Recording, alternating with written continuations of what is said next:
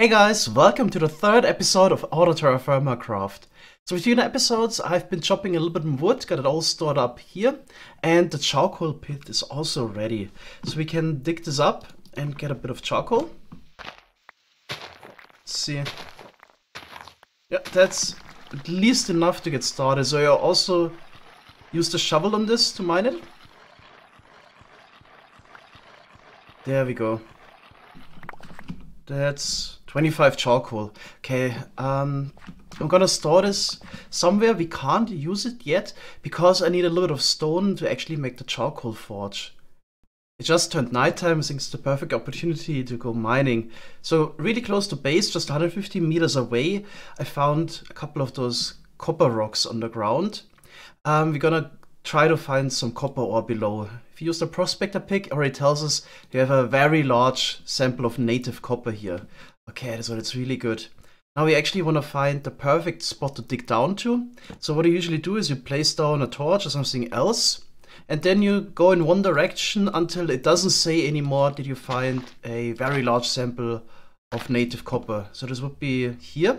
Then you place down a torch, and you go to the other direction and do the same.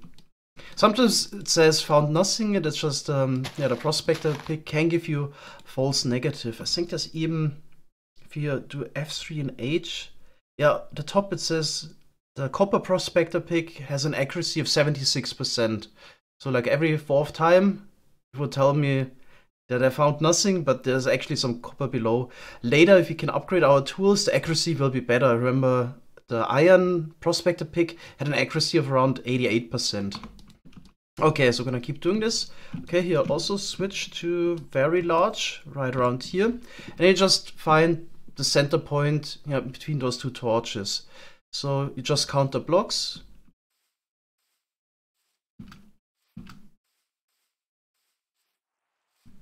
It's like 21 blocks apart, and then you just go to the middle. This could be actually really close to the first torch. So it's 2, 4, 6, 8, 10. Okay, so I'm gonna go over here. And then I can do the same in the other direction. Then we should pretty much have the the best yeah, center point to dig down to. Okay, uh, I think here very large should be the last one. And then we do the same over here. Large sample. Okay, so could already be the last one here. Yeah, there's a torch. Already seems to be like perfectly in the center. Okay, then just get our shovel. And I definitely like to dig two blocks next to each other because there are caves below. There is a lava source below it could fall into. So digging like this is really the best way.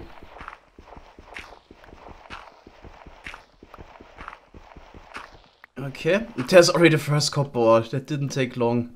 Okay.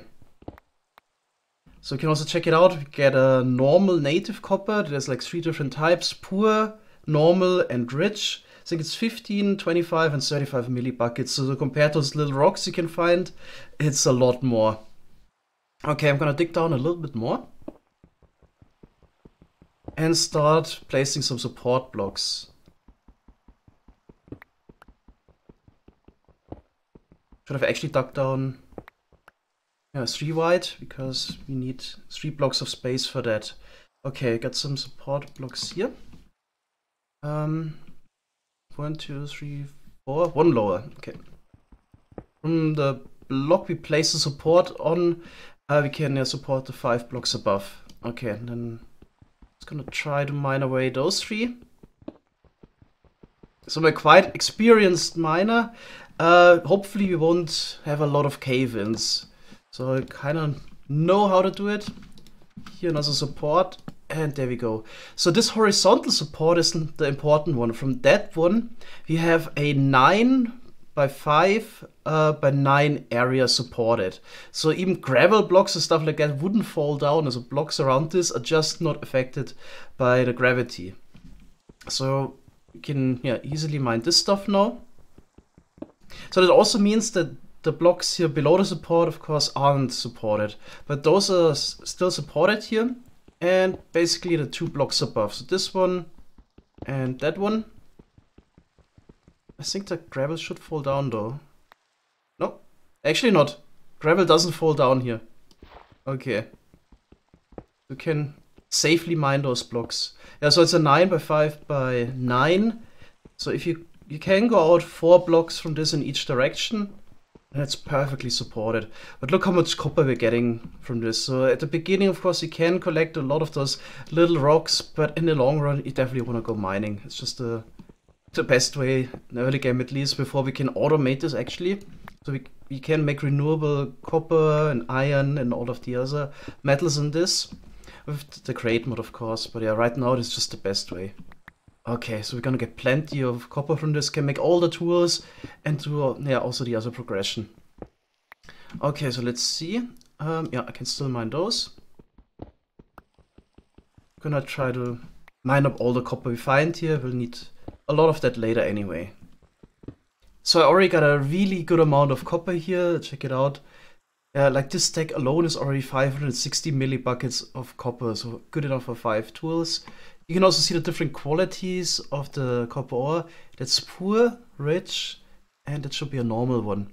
Okay, what I also already want to do is I want to yeah, dig up a couple of the raw stone blocks. So the way you do this is to completely mine all the blocks around one of those just normal stone blocks and then it would drop itself. So usually if you break stone here, would drop those little rocks that you can also collect above ground, but some crafting recipes will definitely need the raw stone here. Okay, this is, can, can be a little bit tedious because all six sides of the yeah, stone you want to dig up needs to be air. Now that I've dug four blocks in that direction, I gotta be a little bit careful because those blocks here wouldn't be supported and if I mine those, I would risk a cave in. So I'm gonna just be extra careful and just place the next support here can also connect those horizontally if you want. Okay, now yeah, I can keep mining here. Also gonna focus on the raw stone a little bit. I forgot that in the beginning. Definitely wanna get at least like 10 or 12 of those. So I dug four blocks more in that direction. Now we can add more vertical supports, but we can already also just uh, move those supports here a little bit over to save on, yeah, placing down a lot of uh, vertical supports. So I think the furthest distance between those pillars is one, two, three, four, five. There are five blocks in between. I think this still works. Let's try it. Let's go one block further out. Yeah, they here they wouldn't connect anymore. Okay. We can shift it like this. So an easy way to further expand is also just to place some vertical supports here. So one, two, three, four, five blocks. Then perfect. We can place one here. Yeah, this support supports the area until this pillar again. Then we can just take those out and connect it like this. Okay. Running a bit low actually on supports. But I can definitely connect this here. There we go. And only got four left. I would need to take some out of the vessel now. The veins in this game can be huge. So I've been mining for quite a while and there's still no end in sight. Inventory is completely filled up. So what we can do is at least craft those rocks into cobble. That saves some space. And we can also fill the vessels with the copper. So once they stack up to 16, it's definitely worth it to put it into the vessels. That's why if I go mining, I bring a lot of those. I got so much stuff from this ore, time to head out. I need to drink real soon. My pickaxe is about to break and a lot of the vessels also already filled up. Okay, so we should be able to place down a bit of cobble here because it's supported. Then you can just go up the ladders to get out of here. There's actually the next water. That's something I need to worry about ASAP. If I look on the map, looks like there's some in a ravine over there. Well, I got ladders. If it's actually a ravine, I can jump in there, I feel like. That's not too bad. Okay.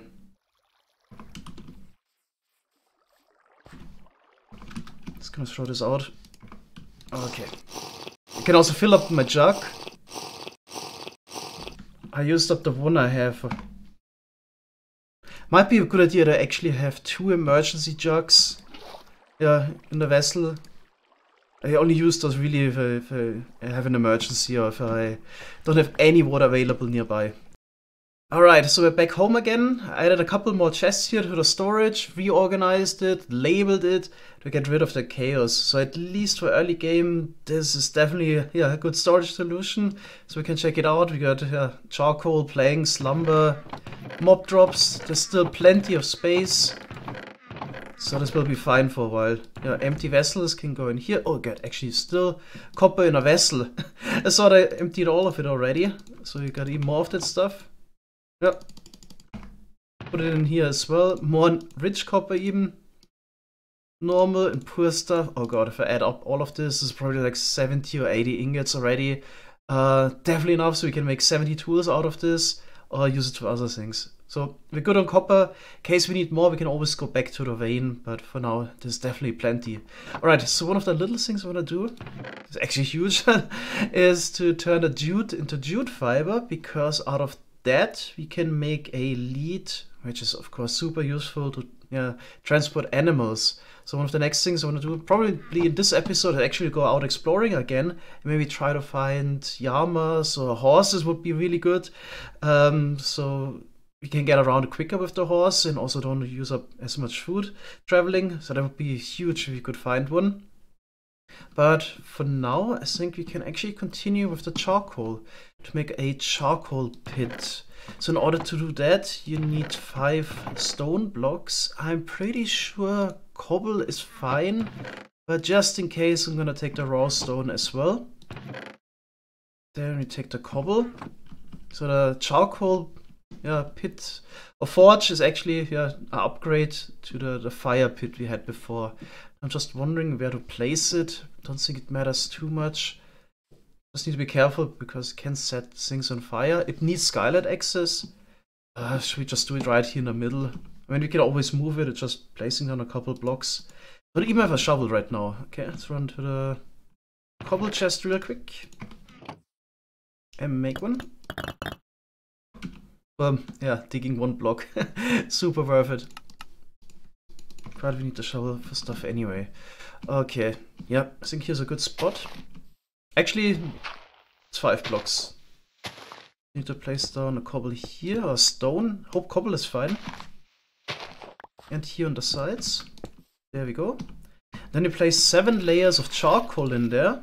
And use your fire starter that I need one more stick for. The last one is gone. There's a stick. Okay. on fire starter. Actually running out of sticks a lot lately. so it's time to actually make the scythe, um, which you yeah, can use on the leaves of the trees and get saplings back this way. So far I didn't get any saplings, but already chopped a lot of the trees around. So it would be nice to get some saplings as well. Okay, then you just hold right click and hopefully this works. Cobble is fine. Okay, there we go. This turned into a charcoal forge. So here you can put in more charcoal to keep it burning. And what you can do, you can maybe already do it real quick, is you, know, you can take a vessel again, just put it in here on the side, and then we can heat up some of the copper we got. Um, or we take actually that one mold, chisel head mold immediately. We don't need to do the vessels, actually way better. And yeah, I need exactly 100 millibuckets again. So we just heat this up and it should pour into the mold. This is getting hot enough. Here you can see the indicator, very hot. It melts at orange. Here, here on the side we got an indicator. So the charcoal is able to get us to yellow-white. But we only need to get to orange to melt copper. For some of the other yeah, metals we can find later, uh, we actually need to add some bellows on the side to raise the temperature even higher. But for now, yeah, for copper, this is fine. Yeah, we already got it in the mold now, so we can get our chisel. I'm just gonna run over there, throw it into the water.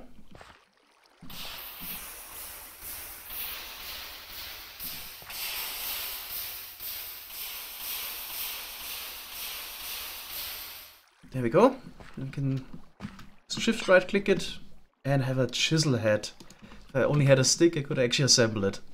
Okay, so I got a chisel now. This can be used for a couple crafting recipes. For example, to turn the raw stone into smooth stone, which isn't affected by gravity, so that would be nice. But also in combination with a hammer, I can make slabs and stairs and also turn raw stone directly into smooth stone just by right clicking it and then I can mine it. So the smooth stone is interesting because it's a stone that isn't affected by gravity. That's why I would want that. But I forgot about the jute fiber again. So let's work on that next. Uh, so in order to get yeah jute fiber, we need to jute and soak it in water. Here we can also see already the create mode recipe. Can do some bulk washing instead. Once we got yeah, the fan, it will take a while. But we can also just make a barrel, fill it with water, and soak the jute in for 8 minutes.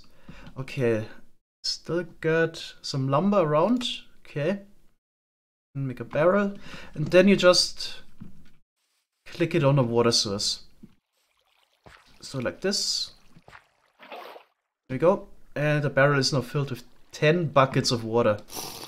Got a drink here anyway. What does it even say? Um, how much water do we need? 200 millibuckets for one jute. So we can make 50 out of it. Got a whole stack and then some. I think I'm just gonna make a second barrel, so we do two at once. Don't think there's even another use for, for just a normal jute. Let's see. Yeah, I can only turn it into the jute fiber. So we definitely want to convert all of it. Okay, let's make another barrel. There we go. Run over there and get more water. Oh yeah, it's also a thing. Uh, you can't carry two of those. Can still yeah changes the FOV. Can move around a little bit, but usually only want to carry one of those because they're really heavy. It is also here indicator very heavy. Okay, then let's put 50 jute in there. It's gonna use up all the water. You gotta unseal it, click it in there and seal it, and then it takes the other eight minutes. rest can be put in here.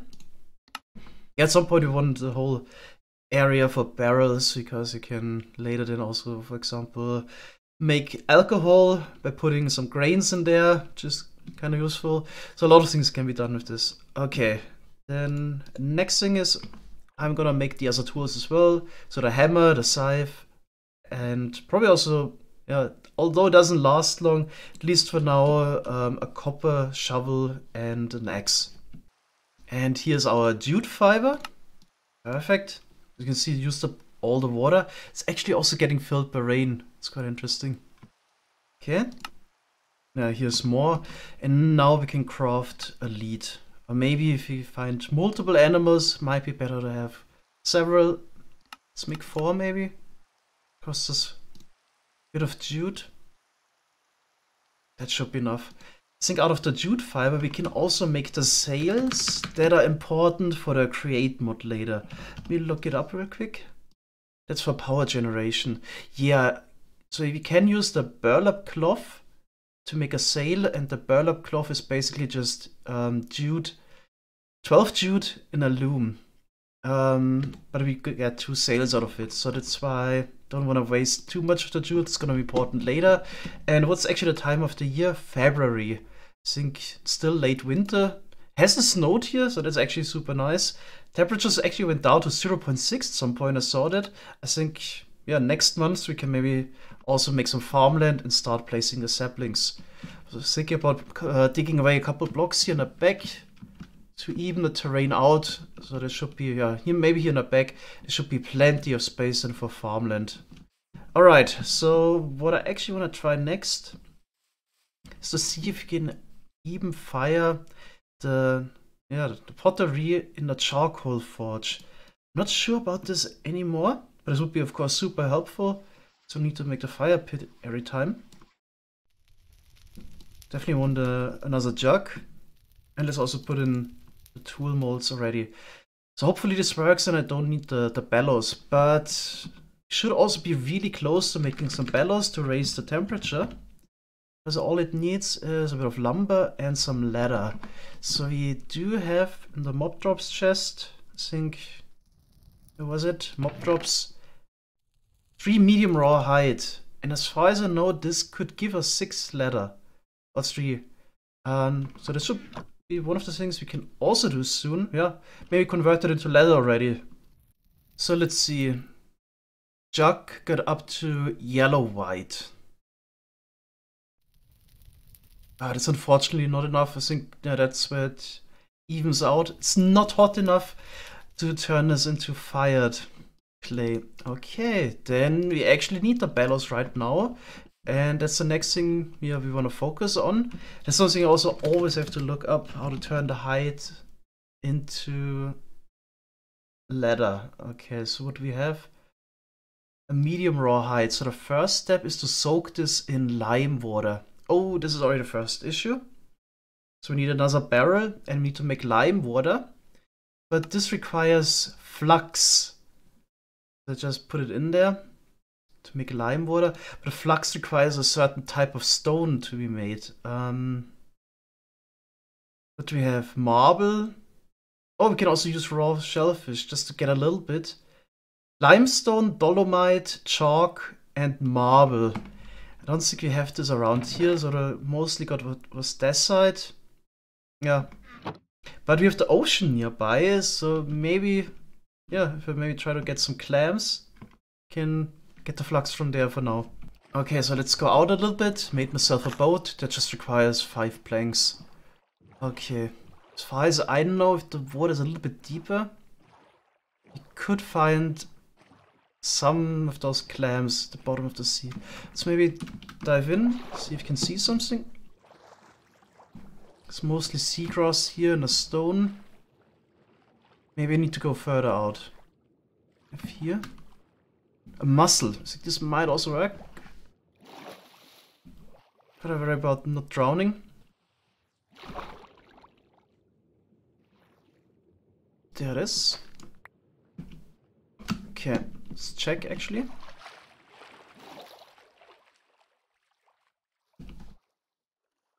We can make out of the mussel. Oh, okay. Seems like this one isn't useful. Okay, then we gotta keep searching. Maybe we'll just move a bit further out. So the clams should be easy to spot. They're really white. There is one. Oh, you probably need a special tool for this. Could have checked with the the WAILA on top.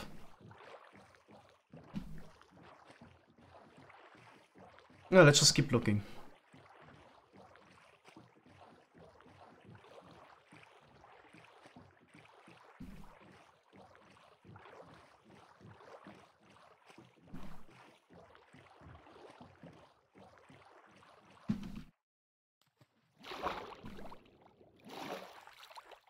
Oh, that's actually interesting. This giant squid. oh my god, yeah. Can get some squid ink from that. Uh, what's my best weapon right now? I don't even know. Should maybe get some air first. We can quickly check the stats. Chisel. The pickaxe might be good for this. Okay. So I actually wanted some dye earlier to dye one of those vessels. Oh, actually get attacked by, by the ink. Yeah. To dye one of those vessels so you can see it in the sea of vessels uh, a bit better. There's even a glow squid down there. there's dynamic light. Should probably also get that. So basically a vessel we have my food in should stand out from the others. That would be kind of nice. Just trying to kill that squid here. Get uh, black dye from it. Is this a different one? Yeah, the health is lower. She has 46 hearts, crazy. I think the larger they are, the more health. There we go, got it. Oh. There's even the glow squid. Did I pick it up? Yeah, got 4 ink sacs. See my glow squid. Huge! 80 health. and I broke the pickaxe. Oh my god. I wanted to make a new one anyway. Almost drowning. Then still take damage on the other tools. Let's try the saw. It's actually brutal. Being a squid with a saw. This will also take a while. Okay, let's get back up. I went to the cave, he knows. he wants to drown me. There we go again. Oh, it's that far back. Can only get like two or three hits in now. And I really need to go back to not drown. Come on. It's gonna be close. Yeah, it always reduces the health by 100. So I should really time my attacks. Okay, let's go again.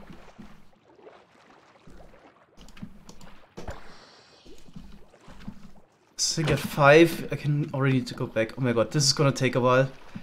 There's a smaller squid. Yeah, made it out. smaller squid, maybe let's focus that. Maybe the, the big glow squid was closer. It's also great for the, for the tool durability, of course, to misuse it It's an attack weapon. Hopefully the saw survives at least. I think it's also vanilla thing, if you actually use the, the tools for a wrong purpose, uses up two durability instead of only one. Okay, let's get up here. Let's see if we can take down a glow squid. I guess the glow squid ink would actually be nice to upgrade the science a little bit. Okay, back up. It's gonna be a long fight. Okay, I think I can take it down now. No. Where am I? oh no! I think the squid just got me. Can I get out of this? Oh, this is getting so close. the squid has 5 health left. Okay, but this time. On my hit. There we go. Can't see the squid ink. Not sure if I picked it up. Might get it later. Oh my god. Come swim, swim, swim. Oh. That's actually a close one. Let's see, did I pick it up? No, we need to get back down there and try to find the, the glow squid ink. Because I really want to get it now. Oof. Okay, almost at 100 health, so I can at least take a little bit of damage. Let's see, where's the glow squid ink item? Oh my god, I can't see it. No! Maybe F3 and B could be uh, helpful for this. To spot entities a bit better. Show the hitboxes item entity. There, yeah, okay. Was a little bit cheaty, but I really want to get it. okay, come on. I made it. Awesome. Now I can upgrade the science. Oh, this was a hard battle for three glow ink sacks. What are they even useful for? Um, ink Oh, we can make some sort of glow arrow with it. That's interesting. And of course the item frames. And you can put it on signs. Okay. So now it's also daytime. It's also good. Maybe it's easy now to spot the clams. Yep, here's one. Let's see what tool it requires. Clam. A pickaxe that just broke fighting with the squid. Okay. then we need to go back and make a pickaxe. Okay, so back home, got the black dye from the ink sac, and then we combine with the unfired vessel, get the black unfired vessel. You already have to do it before you fire it, of course. Okay, this will stand out a little bit from the others. Then I made another jug and the yeah, tool head molds. Let's place them down again and do the old fashioned uh, fire pit. There we go. And the other four. Oh, already got some stuff in there. Sets on top again. And 60 logs. So expensive when it comes to the wood. And two torches. Okay. Then I gotta get a drink already again. I guess now we can also upgrade three of the signs. Make it pop out a bit better. Yeah. Ores. It's also important. Charcoal. Everything is actually important. Stone bricks. okay. So while we heat up the clay, I'm actually gonna go out and collect a couple more sticks. Running low on those. But once we have the scythe, this will no longer be an issue. Then we'll have more than enough sticks. Okay, so check it out. I got the fancy black glazed vessel now. It's definitely gonna stand out from the others. I'm just gonna put my food and my water in there. Okay, but for now, I think I'm gonna put away the other vessels. Now we need 600 milli buckets of copper. That's gonna be one and a half stacks of the normal native copper. Okay, then we can heat up the charcoal forge. Go. Yeah, got a little bit of charcoal left, not a lot. Hopefully it's gonna be enough to heat up all of that. Okay, I think I'm just gonna do it four at a time. Can I actually put multiple over here? I think I can. Then we can also do the full five of them. Okay.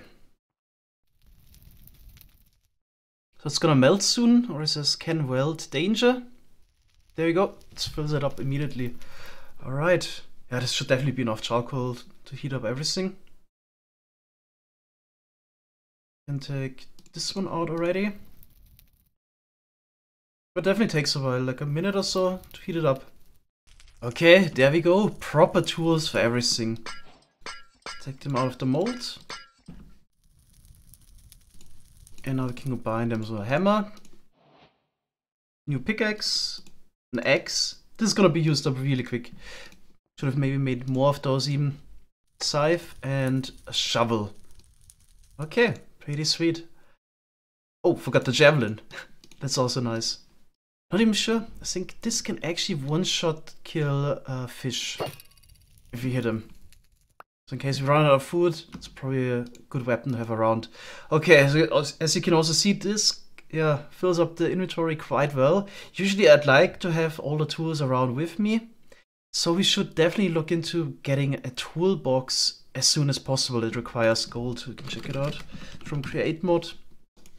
So toolbox that needs a gold sheet, uh, cogs. We can yeah make those out of the um, raw stone we got and the chisel. Then chests we can make, and we need leather for this as well. Rabbit hide? Actually, I have not seen that yet, but yeah, we wanted to make some leather anyway. Hopefully we get enough for the, the bellows plus the toolbox, and we also need some leather for a saddle if we actually find a horse. Alright, so good progress in this episode.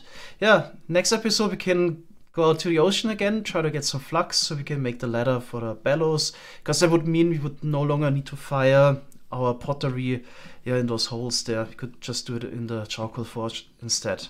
Alright, hope you enjoyed this episode. Thanks guys for watching and see you on the next one. Bye bye.